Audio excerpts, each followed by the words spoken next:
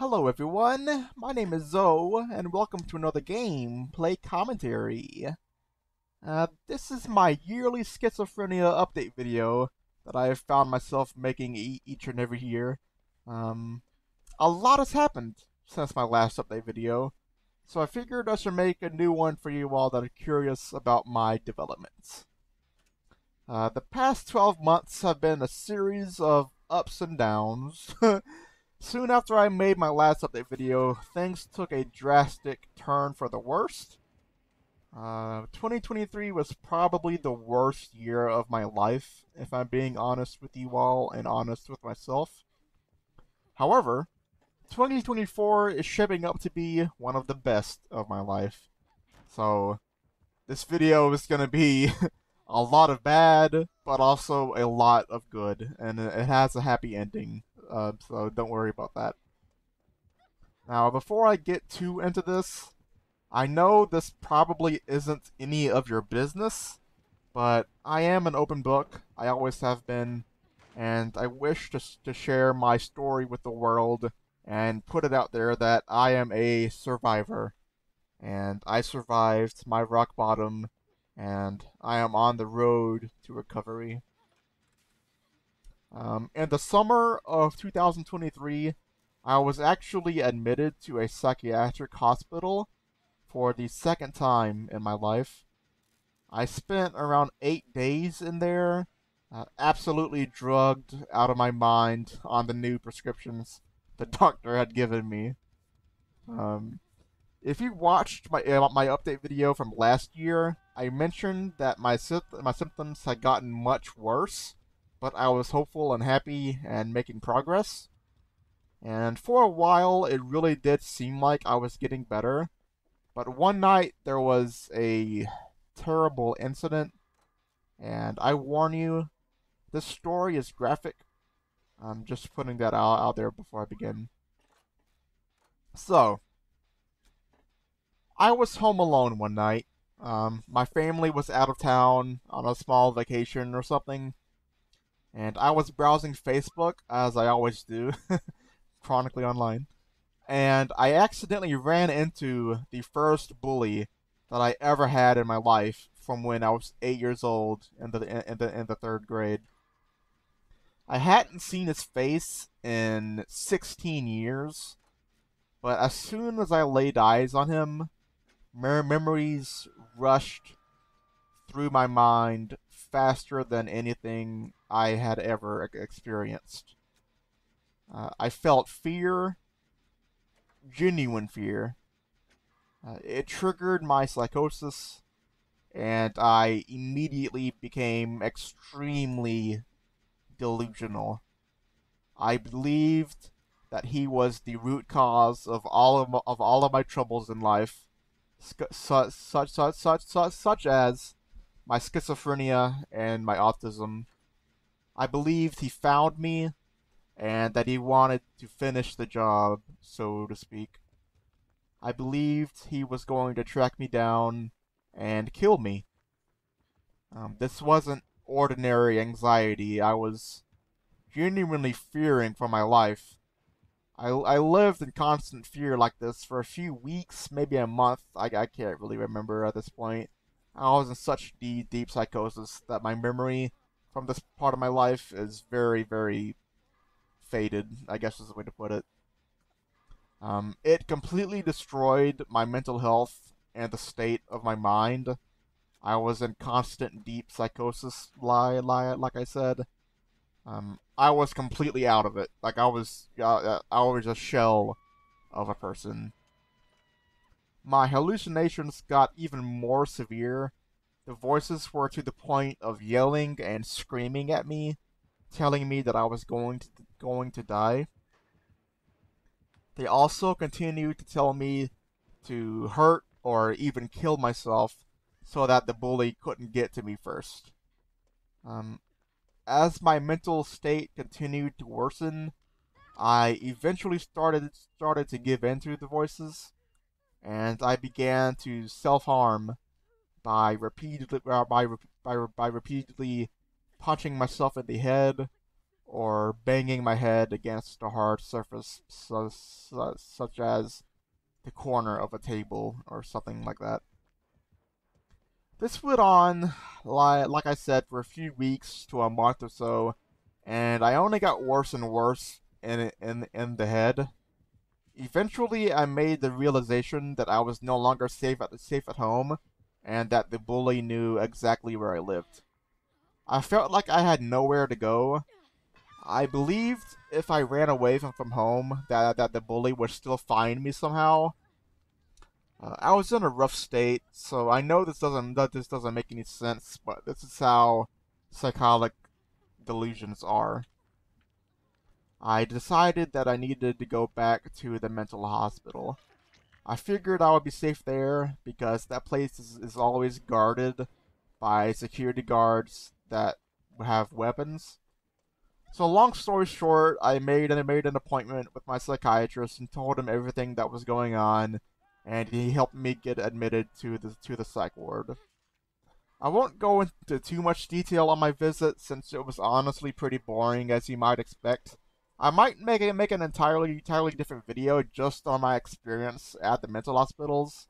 Um, since since I have been to one on two different occasions. But anyway, uh, while I was there, I took part in group therapy sessions with other patients and I actually made made a friend in there that also that also suffered from schizophrenia. Making that connection with someone really changed my my, my outlook on life, uh, absolutely for for the better. I was also, of course, drugged up beyond belief in there. I was on an insanely high dose of anti of antipsychotics due to, due to how severe my hallucinations and delusions were. So I spent eight days in there, and I must say, it was absolutely life changing. The difference in my mental state from before and after my visit is like a night and day. Um, fast forward, fast forward near nearly a year, and I am absolutely thrilled to share with you all that my symptoms have improved tenfold. Uh, my schizophrenia is not completely in, in remission, but my symptoms are, ex- are extremely light, and I am slowly starting to live a normal, happy life. My symptoms are very manageable for me at the moment. If you watched my uh, last year's update video, I talked about how I talked about how severe my hallucinations were. My visual hallucination, hallucinations were scary as hell, uh, there used to be a tall, shadowy figure that would follow close to me at all times and creep me out. Now, I only ever see the shadow pe- the shadow pe- people in the distance if I'm in a large open space, like walking on a walking on a street or in a Walmart or something. They do not scare me whatsoever anymore. As for my auditory hallucinations, those have also improved tremendously.